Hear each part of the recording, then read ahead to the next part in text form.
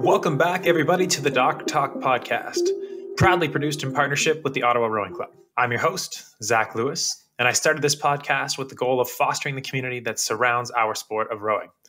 I hope to do this through a variety of concise and insightful conversations with individuals from all over the rowing world. Rowers, coaches, and practitioners of the sport, both past and present, will share their knowledge and stories with us with the goal of educating, inspiring, and motivating our listeners. Now, I am beyond thrilled to share today's guest with you. Following a brief stint as the coxswain of the Australian Men's Eight and the 1979 World Championship, today's guest transitioned fairly easily into the world of coaching, where he saw an illustrious and successful career. Working his way up through the ranks, his crew saw success at the schoolboy, club, national, and international levels, where in the highest level of competition, a number of crews under his tutelage went on to win dozens of world championship and Olympic medals. He most famously supported consistent world class performances with Australia's Oarsome Foursome throughout the mid and late 90s, was then head coach of Australia's most successful Olympic rowing team at the time in the Athens Olympics. After the London 2012 Games, his coach decided he was looking for a new challenge, which brought him to cross the Tasman Sea and assume the coaching role of the infamous Kiwi pair. And then eventually take over the entire sweep program for Team New Zealand, including the Kiwi Men's Eight. He now resides as the High Performance Director for the state of Victoria Rowing in Australia and is the chair of the National Selection Committee for all age groups.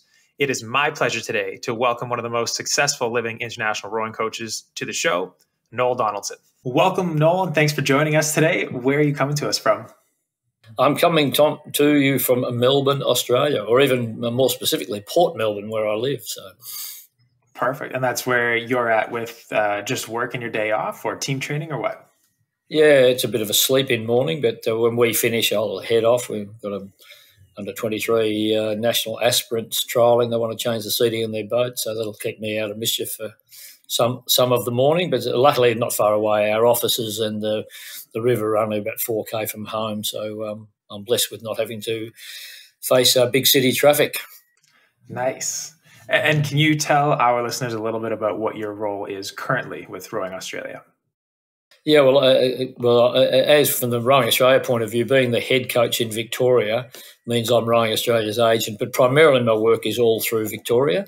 Um, we have our athletes who are aligned to the Victorian Institute of Sport on individual scholarships, and Rowing Victoria um, picks up the brief for just about all, all matters associated with rowing in our state of Victoria uh, and I run the high performance uh, arm of that. So, as head coach of Rowing Victoria and also the chair of selectors, which I mean, I have to select the uh, state teams, uh, in including our masters athletes um, as well. So, it's a very multifaceted role in a smallish organisation. Awesome. So each uh, state across Australia has its own institute of sport, its own performance director, its own head coach, and those kind of all feed into Rowing Australia as a whole. Yeah, pretty much. Yeah, they uh, they, they refer to us as state leads, and um, the model is different in some places. Um, New South Wales, the biggest state, don't specifically have a head coach, so they use some program managers to fulfil that role, and they have club big club head coaches that sort of participate in some of the planning activities as well. As we have a, uh, two high performance clubs here in Melbourne as well, and, and, they're sort of aligned along with me in what we do here in Victoria. But yeah, you, have hit it on the, on the head. Each state has a um, representative through their state association or institute uh, linking back to Rowing Australia. Fantastic. Now, I always try and start uh, by asking our guests how they got involved with the sport of rowing in the first place. Uh, we kind of bring in people from the show from a variety of different rowing backgrounds and different geographic areas. Can you tell us in a couple sentences how you got involved in the sport, kind of how you got sucked in, and how you're still here, however many years later? Yeah, well, there's a little bit of it played in North America, in Canada, because I've actually been to a game of cricket in uh, in Canada probably around 99 or somewhere around there when the Worlds were there. Uh, I played cricket as a young kid at school. Uh, I wasn't very good at it. I still dream of one day being a spin bowler, but wasn't very good at it. and um, there's a little bit of history in our family with rowing. My brother had, had coxed; he's a year older, and he'd got my grandfather had rowed into collegiate, and and so it was a, it was a good option as another sport at school. So I, I took that up in what is our year eight. So I would have been about 12, 13 or something years of age, Carey Grammar School, uh, and stayed with it all the way through. You know, Cox the first crew, and then you end up, you know, club, state, national programs, and those sort of things. So that's how how I got involved, and you know, I'll sing the praises of coxswains. You know, they're the, the heart and soul of the sport, and we know more than everybody else, and tell people of what course. to do. But but that's that's that's how I got not fell into it, but you know, it was an opportunity of the school sport, and uh, I really enjoyed it. It was outdoor on the water. There's a whole heap of synergies there that that I enjoyed, and a lot of fun early on, and then you got a bit more serious, and you know, tried to win rowing races and that sort of stuff. So, uh, pretty simple beginning and you went fairly quickly from starting coxing at grammar school to ending up with the senior team after some some King's Cup races, and then from what I understand, it was one season, 1979, Aussie Men's Eight at Worlds, and came home and f- transitioned fairly quickly into coaching, going back to grammar school, I believe, before working with Mercantile and then eventually the the state crews, Correct?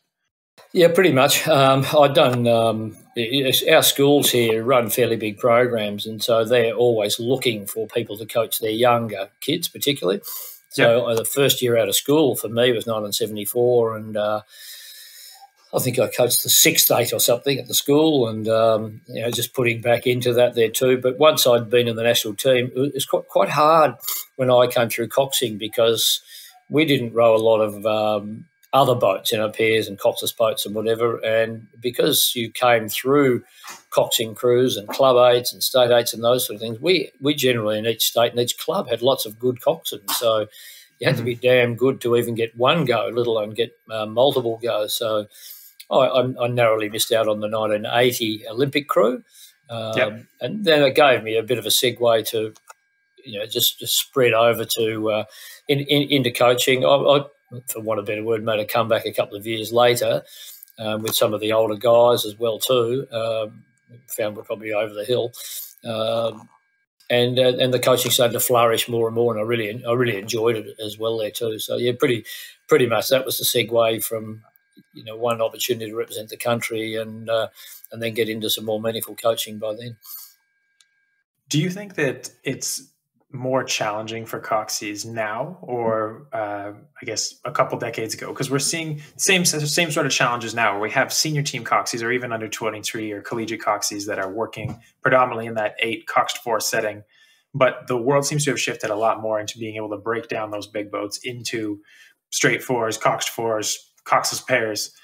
I think there's a whole lot more um, coaching almost that goes into the Coxie role now at that high performance level than it once was but I've never been a Coxie, and I, I, guess I defer to your insight on that one, having been a coach and a Coxie. Yeah, no, I think that's exactly right because um, you know every day I went to training when I was young, you jumped in an eight and steered it up and down the river, and um, and now these days it's uh, almost in our environment it's few and far between. Um, even within our training centres, the coxswains aren't full time athletes because they're in their smaller boats. Um, uh, so, so often. And then towards this time of the year, they start to get a lot more actively involved, and then the team selected, and then they're full time time with it. And so you're looking for other things for the coxswains to do. Otherwise, they're you know they're they're, they're off doing other things. They're not learning and the like. So we try and put them out into coaching roles or the shadowing roles and do a lot of education with them. So the few opportunities they do get, they can hopefully do a really, really good job for it. And and of course, there's lesser boats these days. You know, there's no lightweight eight at the World Championships, and yeah. there's minim- minimal opportunities for them. And of course, then there's gender. So, uh, you know, gender neutral now means you've got to be really, really good because not only you've got to be better than the other sex as well too to be able to uh, ensure that you get a spot in a crew. As we see, there's probably slightly higher percentage of young ladies coxing men's boats than the other way around. Um, so yeah, it's pretty precious to get a spot uh, in a in a key uh, rowing boat coxing these days. Yeah, absolutely. Are uh, are senior team coxies in Australia considered fully carded or fully scholarshiped? Yeah, they, they, are. Of course, that will depend, of course, how the crew goes. You know, so um, our men's eight, for example, won a medal, so that's a higher level than our women's eight, and and the coxswain will receive the same uh, benefits um, according to the result of the actual crew. Gotcha. But but they they don't necessarily live in the training centres all the time, uh, depending on how they uh, the head coaches of those centres want to run their program. So. Um, uh, yeah, it's, it's, a, it's, an interesting lifestyle for them. You know, from perhaps say a US college program where there would be a you know, higher propensity to, for them to be training in eights, and the coxswain yep. obviously integrally, integrally involved. Yep, understood. Now, as you already alluded to, coxies know everything. Um, they are the eyes and ears of the boat. Now, being a former coxswain, I feel like there's a distinct set of advantages that goes into transitioning to the coaching side of the dock, and perhaps some disadvantages as well. Um, typically, coxies have a great read on athletes, uh, tactical background, strong communication skills, and can really see and feel what's going on in the boat from a non-rower perspective. Um, however, many former coxies that transition to coaching don't necessarily come from high rowing seat backgrounds. Like they're they're not usually the ones with the oar in hands, obviously from a coxie role. Um, and then, would do you think this would translate to somebody having a lacking in technical feel, or, or uh, I guess just a feel aspect to their coaching repertoire? I think you can make a generalization of that, but I don't know that it necessarily holds for everybody. Um, mm-hmm. My background was I played a lot of other sport and I played a lot of Australian rules football um, yep. as well. So I'd like to think that the physical side of sport I understood really, really well. You know, I knew how to hurt myself, and you know, when you're there yelling and screaming at them, saying "row harder," um, you know, at least I knew I'd been in that territory in other activities before. Um, because we probably had more coxswains around in those days, we used to row a fair bit ourselves. We'd either be out sculling or. Oh, uh, nice and and and I sailed as a as a young kid. So that's wind on the water, reading a boat in in water, and those sort of things. So that's fortunate opportunity, right place, right time, um, and not everybody necessarily gets that. So. Um, and I think you could put two coxswains in the same seat, and each would come up, come up with a different set of feel. You know what they think the actual boat's actually doing at that particular time. So, Yep. Ultimately, if you're going to survive at the top, though, you know you've got to have a really good innate understanding of you know what the boat's doing, let alone the man management, the communication, those sort of things there that go along with it as well there too. So I don't think because you do all those other things you're necessarily better, but I do think it's uh, will hold you potentially in better stead if you have a, a, a more wide skill array of being physical, of you know, being um, a bit more confident about the actual movement because you can do it yourself. You know. Absolutely. What do you think some of your uh, personal biggest assets were coming to coaching from the Coxie seat? Um, I, I, think I, well, in fact, in fact, actually, I think probably if I was coxing now, that's a bit impossible at my weight. Um, uh, you know, you, you, you, you, sort of have good feel. So you think, well, I must have had reasonable feel, even though my rowers at times got, you know, the high level ones got stuck into me about not being very competent. But um, and and you learn you learn by that. You know, when they criticise you, just go, well, what, why aren't I able to impress them and do the things I actually want to do? So you know, I was I was pretty keen about learning and getting better, uh, mm-hmm. not making mistakes. Uh, you know that I might have made previously and the like. So it was about good feel. It was about being able to train well, but also race well. There's some coxswains there that have a you know affinity in training. They can you know, sort of pick things there, but they under pressure in a big race may not sort of do it. And there are others that are great racers, you know, maybe a little lazy for want of a better word in training, but sort of really raise the bar and energetic in in racing. So I, I think you've got to be aware of all all skill sets from that sort of point of view. But I was probably somewhere in the middle of all of that, and um, and had a keen desire. You know, it was not win at all costs or anything like that there too. But I always wanted my boats to go as well as they can, and I think that's probably, suppose, every coxswain would say say that. But you'd hope you know, anyway. it, was, it was a it was a real passion in one sense about what what's my role to make this actually go better. You know, if I can contribute towards it, because I had some good mentors as well. You know, who who impressed upon us and gave us the self confidence that if you cox really well, you'll make a difference. You know, so the difference between them winning or losing by canvas or whatever it might be may well be the way how how well you perform. So you're thinking, gee, I better better be pretty good at that. So that was pretty good, I think, from a coaching point of view. You're always looking for ways and means to make sure your crew, your boat, could actually perform as well as it possibly could. So, so from that point of view, I, I think I was, you know, again, as I said, right place, right time, and fortunate to work with some really, really good people, and then had a passion to want to coach as well. And and I was a, I was a it was a second career for me going into school teaching, physical education, sports science, that sort of thing. I'd been in the hospitality industry. I described myself as an alcoholic probably before. Uh, it's a lot of fun though,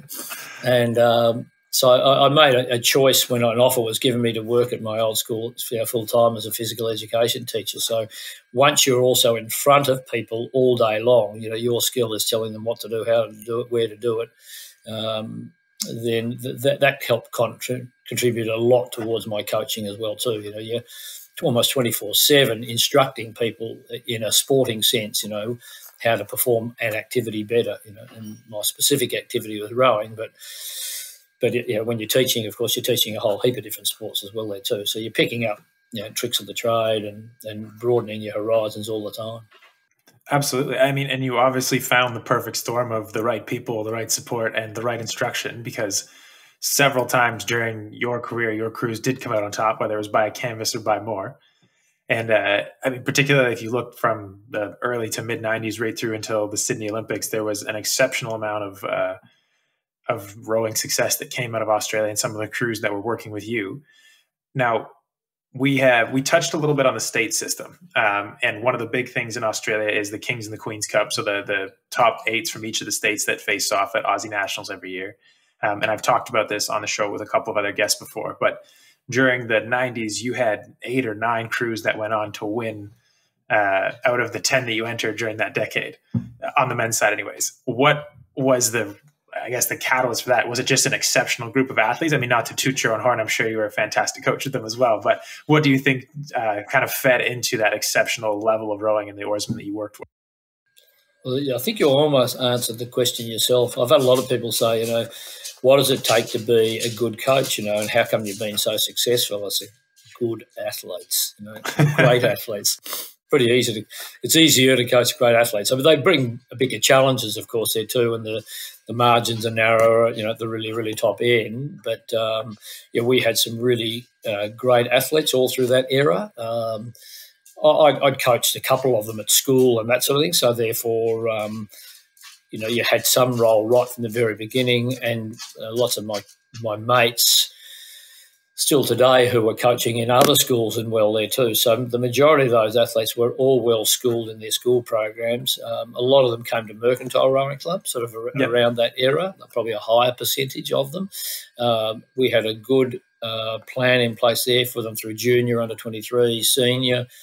So, you know, they're, they're, they're in a good, good place to be able to progress really well and and we just had a, a, pretty good crop. And once you get a good crop, if you can, then you, will always lose one. But you know, we didn't have to re-recruit a whole group of people. We just had to get a new one that came in, and that was so the, the Drew Ginn story. You know, someone a younger person coming in. So we are always feeding it, and then uh, sort of post that generation there, there were a whole heap of other good guys that represent Australia several times came through as well too. So we yeah we we'd had a, a golden era sort of through that period there. Um, one of the ones we did lose was when the Australian Institute of Sport rode for the ACTs, Australian Capital Territory, which is regarded as a state um, per se. So we thought that was cheating at the time, but um, we came third anyway, so it wouldn't have mattered that much uh, uh, anyway. But no, it was it was, but it was a good springboard for those guys. Uh, they love rowing for their state, and the history and tradition of that carries on through the current teams. You know, at the moment we every year we try and win those races again. Um, we did it two years ago. We've got a good chance of doing it again this particular year. Um, we've won the girls so many times now; it's not funny. Um, and they're so sort of dedicated towards it, and we've got a great group of guys this year as well. So um, you know, when they pull on the big navy blue, I've got it even here, Zak, if you can see it. Look at that there. Yeah. The big white V. It's like you grow a third leg, we say. And um, so there's a lot of spirit associated with that. And um, as there is in, in other um, uh, states in some sort of boat classes, certainly New South Wales in the in the men's eight, you know, they have a real pride and have for a long time and trying to sort of knock off our records and that sort of side of things. So it's it's a it's a healthy part of Australian uh, rowing, but but it's actually only one day of the year, so to speak. So, um, and that's coming up soon, right? In a month or so. Yeah, yeah, it's only about four or five weeks away at the most. So, um, when in the throes of communicating, a lot of our best athletes are in the men's and women's training centres. So, we've been communicating with them about uh, you know what our plans are and when they'll be back and when we go to Perth and how we train and those sort of things. Gotcha. Well, good luck to you and your crews as you get ready for that for that next little month or so. That's got to be a fun way to kick off your that kind of that's the accumulation or culmination, sorry, of your domestic season and kind of kicks off your international season, right? because it's pretty much yeah yeah was, yeah. As soon as that race is over, uh, they head home, and within a day or so, they're then in their full time training in the national team. So uh, yeah.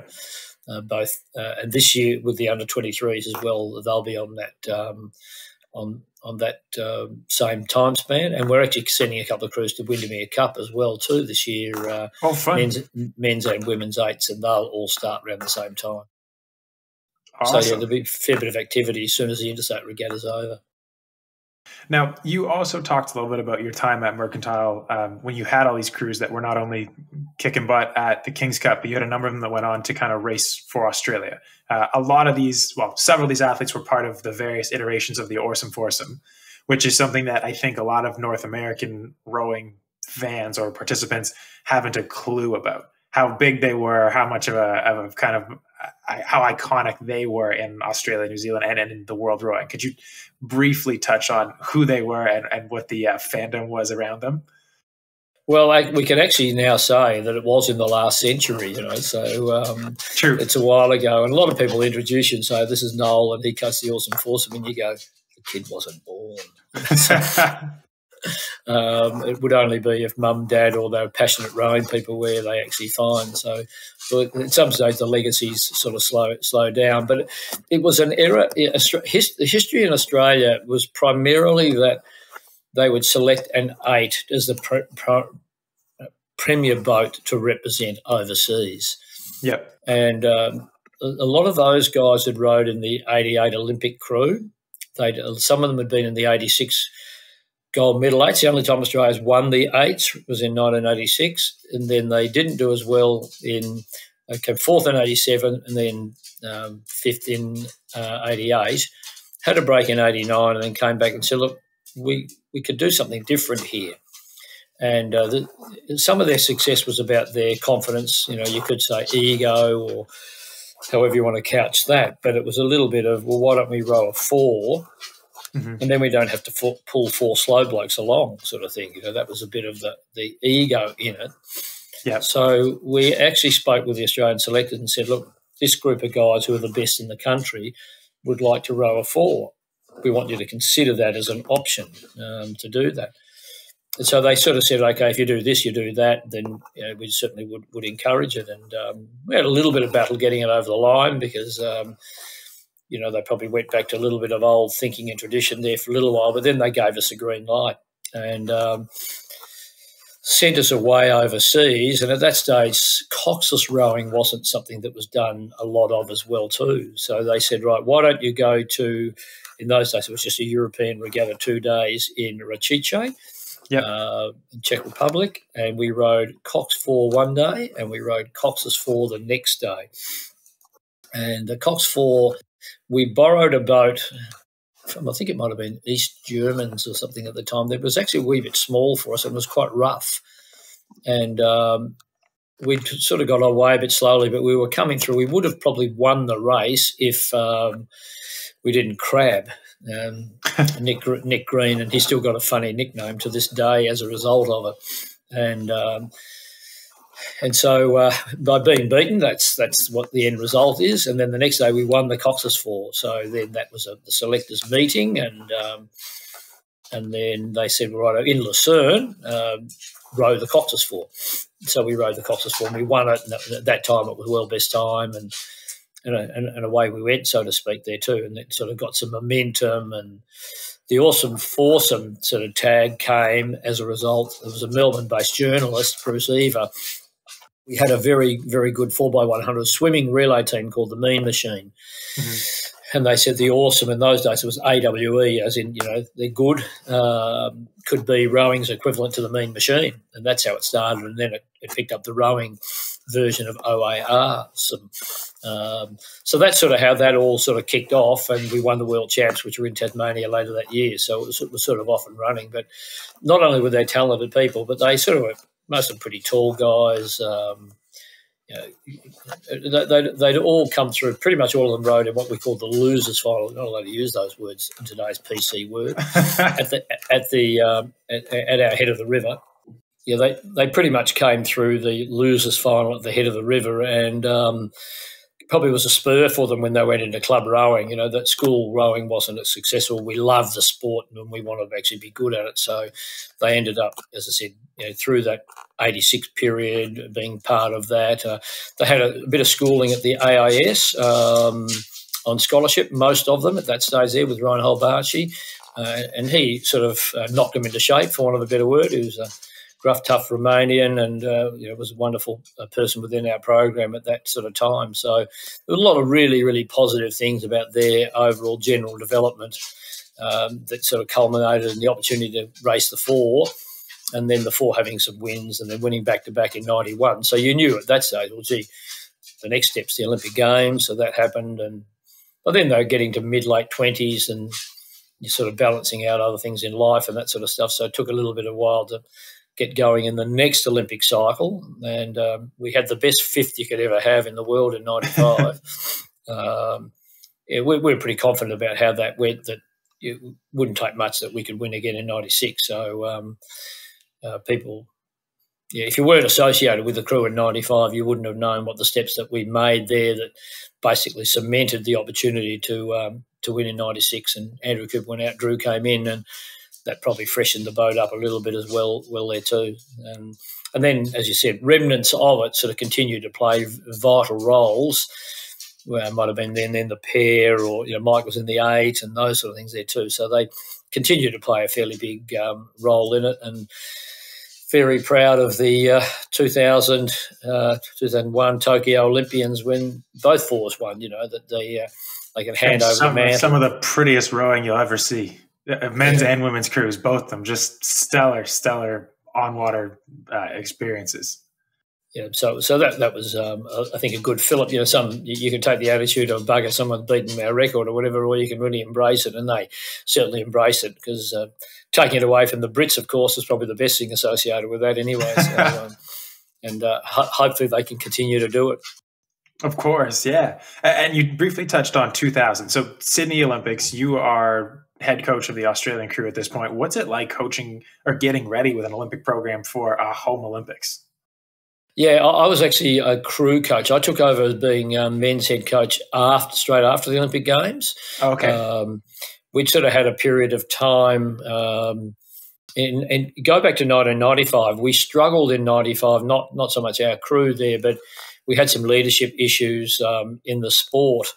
And 96, we rebounded really well. Uh, Paul Thompson, who is now the current performance director, who doesn't need much introduction at a world level, um, you know, he was integral in that. Reinhold was, uh, Tim McLaren, who's um, obviously worked in the USA as well. There was a group of us there that banded really together and sort of um, helped Australian rowing. We had a wonderful 1996, not just the four, but you know, several other boats did really well at the same time and then we sort of limped our way through a little bit, sort of through the next cycle to 2000, and um, yeah, we had some consolidated leadership sort of at RA, and things became a bit more professional and and those sort of things there too. But um, yeah, we, we, we, probably didn't quite have the leader to take us all through. That was sort of done in a more you know, sort of a overall structured way. Reinhold was actually the head coach of the, the team, as he often had been in the past. You know, even if he was was or wasn't coaching a crew, he, he would often be the, the key lead at major international events, and particularly the Olympic Games events. So, um, gotcha. Uh, but he he sort of started to slow down after that, and he he. Um, uh, stepped aside, for want of a better word, and uh, Harald Jahrling and myself sort of took over the men and the women, and um, then I took over as performance director in 2004. But but there's certainly a buzz of home Olympics. There there was nothing sort of greater than that. Um, we we had our challenges because Drew Ginn, who rode with James Tomkins in '99 in St Catharines, and they'd won quite easily, and then he hurt his back and. He came back to row a Vienna World Cup and we won, but then in Lucerne, we had to replace him. He'd, he'd rode a kilometre to the start and came back in and said, "I can't, I can't race." So we put the spare in, and um, spare Matt Long rode with James Tomkins and then they won heat, semi, and final there, and they were the pair and ended up with the bronze in, in Sydney. So it was a uh, challenging year, but sort of a really rewarding year to do it all at home. You know, given those circumstances as well. Absolutely, and that pair race was something for the ages. That French pair that went well, it looks like they go about 250 meters early and then realize it with red buoys around them that there's still 250 to go and what a comeback from the field. I remember, yeah, yeah. I remember growing up, Rowan, watching that, and that was one of the the best races. It's a great um, example of you know, what can be done in sport there too, and also like for us, uh, and even for me as a coach, you know, we James was the more experienced over than Matt, and we were always slow starters, you know. And we sort of had this thing: if we started any uh, faster, we might pull the thing apart, you know. And in the, the end, of course, you, you all know the rules of a final. Everybody's got a bit more life about them, and so that there's more, more pace in the race. And before you know it, we're off the pace, you know, in the race, and we'd won our semi-final. So. Uh, you know, I think if you ask James, he'll tell the same story. He said, with 500 to go, he said, there's no way I'm not going to get a medal, you know. But by that stage there, the French were, you know, just just gone. So, so yeah. if you sort of knew, if you knew the stories and the people involved and all of that, you know, some of the other athletes and coaches involved there too. There was a quite a whole story to the entire race from go to woe, not just the way the French, you know, performed, particularly at the end there too, and mm-hmm. you know mm-hmm. some disappointments and some, you know, for us, you know, at least we got some reward out of it there too. But uh, you know, when you when you get that far in front and you can hang on, then um, good luck to him, you know. So no kidding. Now Got the leading, effort. Now, now he's leading the organisation, Jean-Christophe. So yep, yeah, a good story, a really good sporting story. Now, jumping ahead in your career a little bit, um, you stay with Rowing Australia through a variety of roles right up until London. Uh, and then you, uh, for lack of better term, jump ship, leave Rowing Australia, head to New Zealand, and take on the challenge of then working with Bond and Murray, who've been undefeated for however many years at this point, uh, three, four years probably. What goes through a coach's mind when you see a crew like that that is on top of the world and has set records for most consecutive races won by a men's crew? and you think, yep, I can make them better. It seems almost like a no win situation. Like if they win, it was Tonks that made them fast. If they lose, it's on your head. What what uh, made you jump on that challenge? Well, I, because I'd coached James Tomkins at school, um, so we'd gone back and know, he knew his family and all those things there. And he's a bit of a cheeky young fella and uh, old fella now he would have reminded me in a semi-humorous way um, on many occasions. Of course, if we win, it's because we're good, and if we lose, it's your fault. and so I'd, I'd, already lived a life of um, you know that sort of pressure, you know, in terms of what role a coach plays and and what was accountability. And the same thing in New Zealand there too. You know, those guys hadn't lost a race. You know, so both them and myself what role I play. But you know, you're on a hiding to nothing in one sense if you hadn't got beaten. You know, so um, but uh, the, the, key for that, and part of the reason um, I was employed, not only did I know Alan Cotter, but uh, who was the performance director at the time, and um, we'd coxed against one another internationally there too. But you know, I think. Um, they knew that I'd had experience sort of in the corporate sphere with Oarsome Foursome, with um, uh, having to manage things like sponsors and those sort of things there. So the New Zealand opportunity was not only coaching them but also managing these really popular New Zealand athletes. So with a bit gotcha. of experience of that, you know, I was I was I was a reasonable fit for them. Um,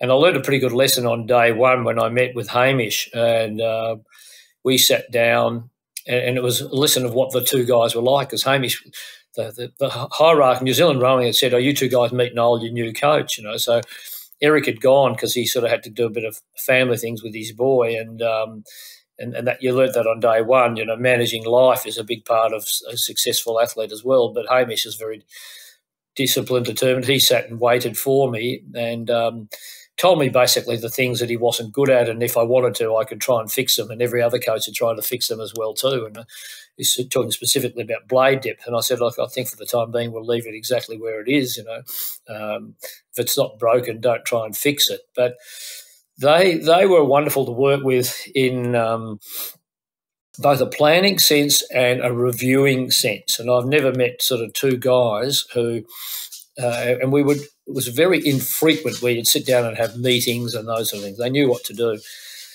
But when we did, we were really strong on what our purpose was and what we wanted to actually do.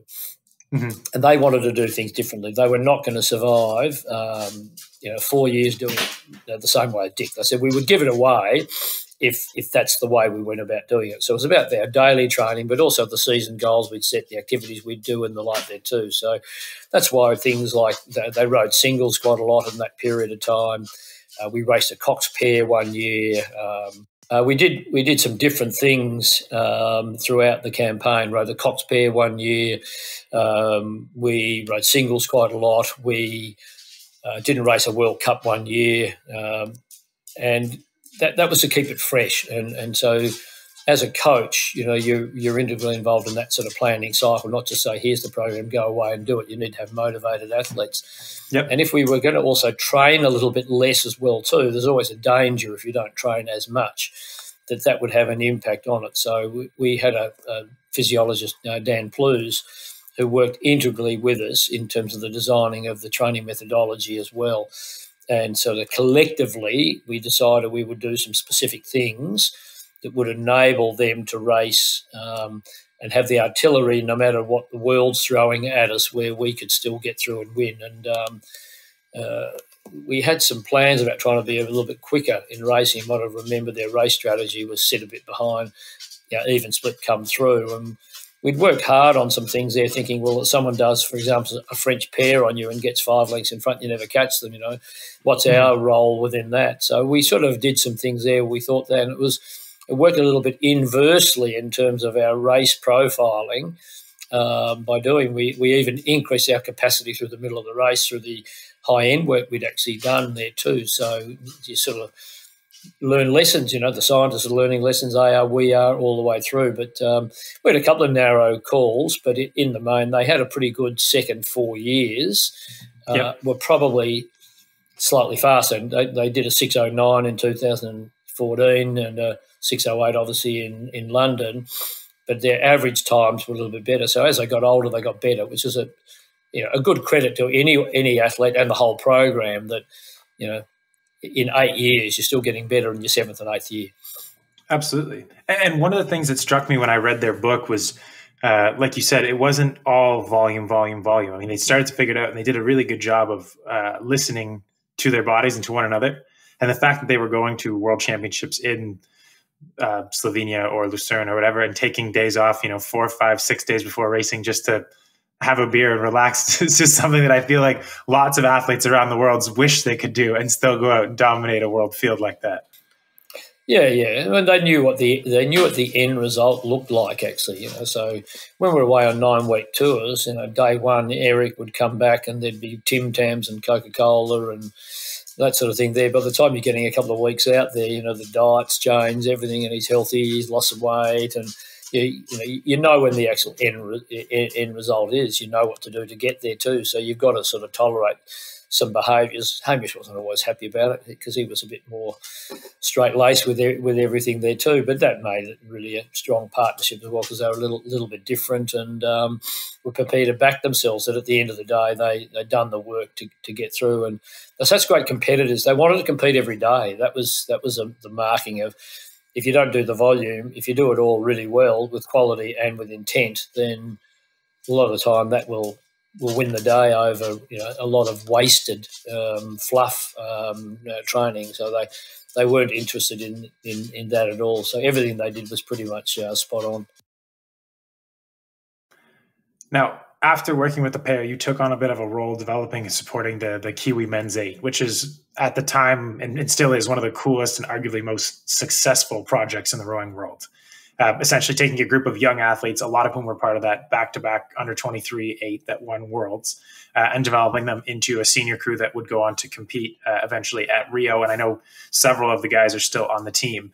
Can you tell us a little bit about that project and the role you played? Yeah, I mean, I probably played a bit role. I might might have played a role as the head coach over there and slowing them down for a little while. Maybe if I look back and try to justify my my role there, I might say I took you backwards to go forwards. Um, it's a rowing uh, pun.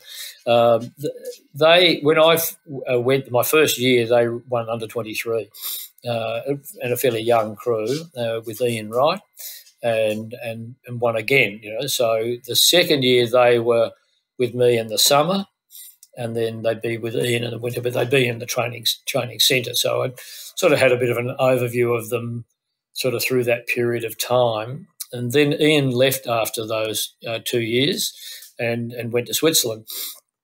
And our intent, because we didn't have a lot of other depth, um, but one of the initial reasons for my involvement in New Zealand rowing was coming from a bigger program in Australia.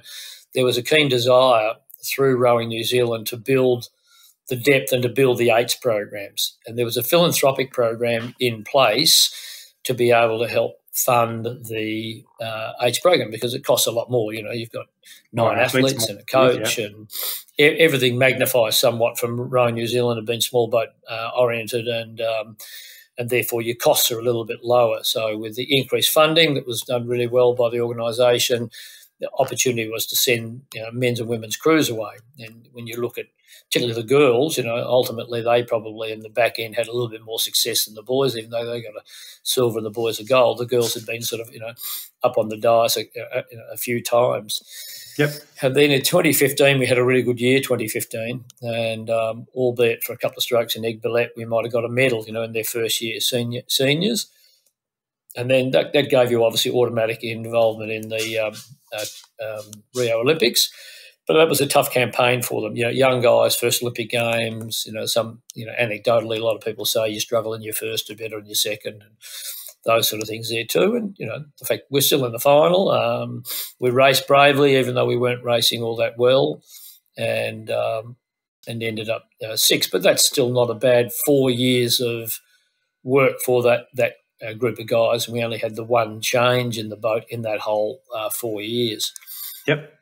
2017 became a bit of a struggle. Then you know you're trying to repeat. You know you're trying to get the same guys there. Their, their expectations were really, really high.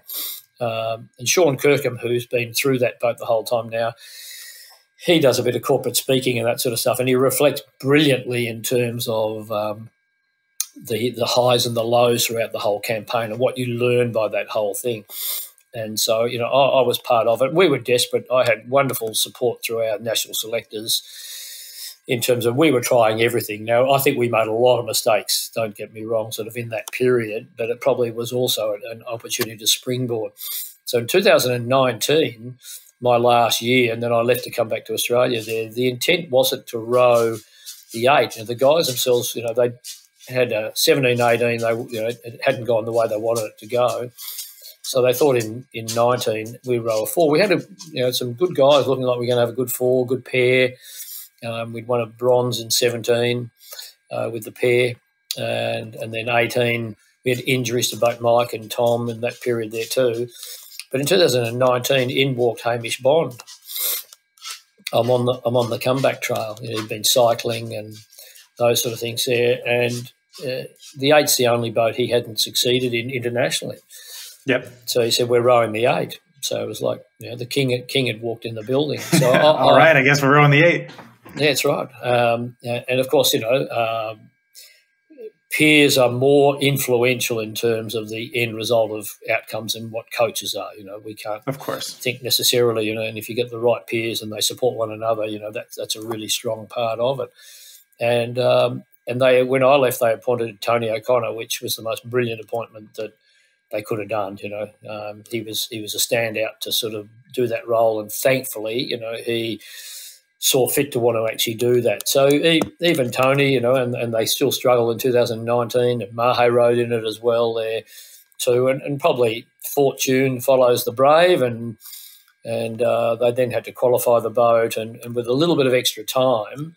Um, it played quite into their hands to be really ready, uh, highly motivated, all on the one page, which had been a bit of a struggle sort of a little bit earlier you know, Tony done a great job. The athletes had Bondi, obviously a strong influence in in all of that, and then they rode brilliantly, which everyone will reflect on um, the way they rode, and of course people will now want to copy that, you know, the big boy rhythm and all, all the wonderful stories associated with that. But there was a lot of trials and tribulations throughout the, um, the, the whole journey. What I'm thankful of is that the group that started, some of them are still there at the the end, and I think that's you know a, a role. If you played anything, it was you know through thick and thin being able to retain some athletes, you know, and a lot of athletes when they don't do as well want to give it away. So absolute full credit to the you know the guys that just soldiered on year after year, and uh, and and got every bit of reward that they richly deserve for you know, many years of hard work. Most certainly. Now, you talk a little bit about some of the mistakes that were made along the way, and without pointing out to one or two of them, you have had a very successful, um, very lengthy coaching career at a variety of different levels. What is a piece of advice that you would give to a young coach looking to hone their craft, potentially working their way up to that international or national level? I, th- I think the key thing is you don't know what you don't know. Um, and if you're not prepared to go out and find that, um, then you're going to struggle. You know, your, your, your artillery of information and knowledge won't be enough because something will trip you up somewhere along the line. It'll be you won't know enough yeah. about training methodology. Um, you'll go down a slightly different or wrong course with a particular crew with a with a technical model, you know, than what they need to actually do. Um, your communication skills might suffer somewhat. Um, you know, you, you, you, your knowledge of race strategies in, in compared to your opposition may may you know, fall a little bit short because you haven't been there and you're confident you're one trick pony and those sort of things there too. So.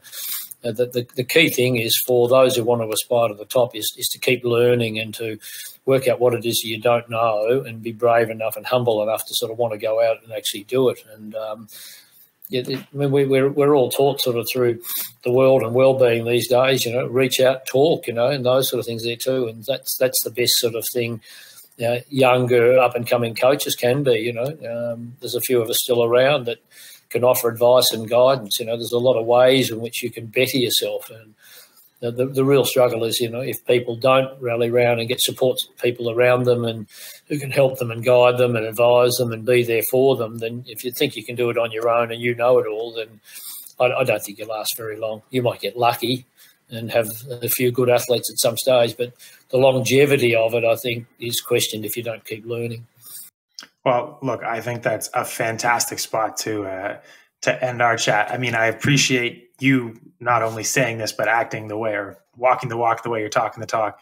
Um, having reached out to you kind of out of the blue, and you've been more than willing to have this conversation and chat with us. So, thank you very much for taking time out of the morning on your day off to kind of talk us through some of your experiences and, and some of the occurrences along your career. I think people are really going to enjoy the chat. I know I certainly appreciated the connection. So, thank you very much. Yeah, it, it me on at the moment, Zak. I'm, I'm off to Brisbane tomorrow to um, work with the Australian Institute of Sport, University of Queensland, on a coach mentoring program too. So, um, you know, we've we've got to offer our knowledge back to the, the community too. So, um, I'm enjoying that in the twilight of my career. So, thanks for reaching out and uh, keep up your good work as well, and well done on your awards. Well, thank you, and I appreciate it again. All the best to you and your crews for the rest of the season, and uh, we'll be in touch shortly.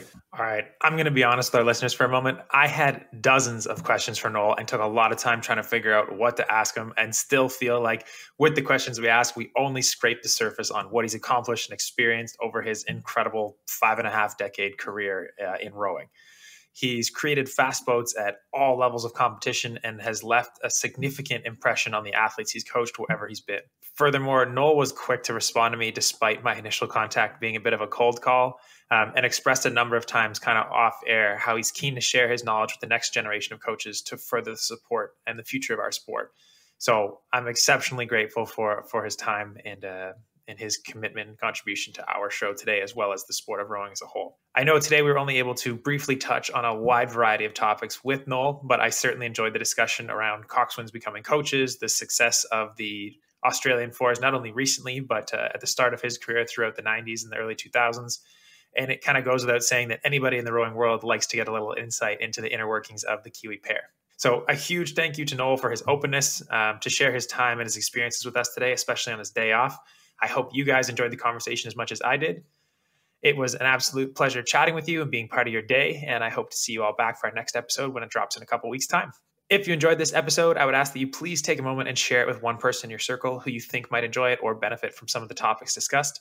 Um, it would be great if you could rate the show and subscribe to the Dock Talk channel wherever you get your podcasts. We are available on Spotify, Apple Podcasts, YouTube, and more.